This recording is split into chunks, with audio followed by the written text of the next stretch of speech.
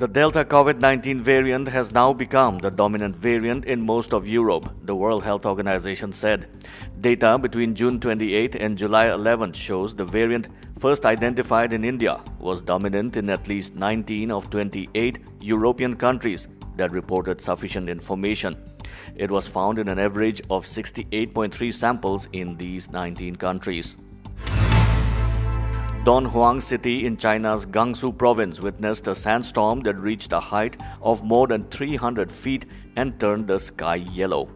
As per the regional meteorological department, the visibility was reduced to just 5 meters when the sandstorm engulfed the city. The sandstorm struck at about 3 pm local time on Monday and led to dangerous driving conditions around the area. Myanmar's military government yesterday cancelled the results of the 2020 elections won by Aung San Suu Kyi's party, announcing they were not free and fair. The military appointed election commission said that investigations had uncovered over 11 million cases of fraud in the November elections.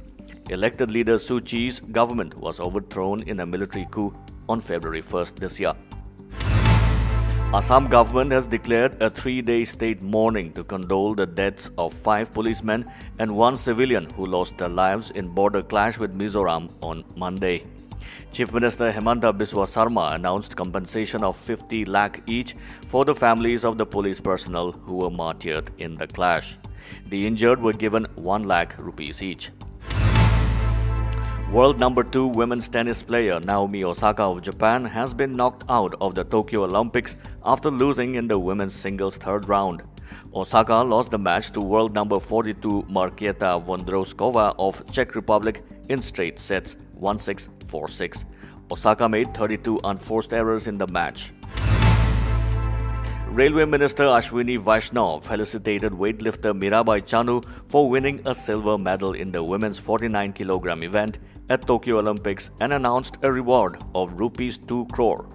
He also announced a promotion in her job in the Northeast Frontier Railway. She has inspired billions around the world with her talent, hard work, and grit. Keep winning for India, Vaishnaw tweeted. India defeated Spain 3-0 in men's hockey at Tokyo Olympics today to go second on the Pool A points table. India's victory comes after the worst ever Olympic defeat 1-7 at the hands of Australia.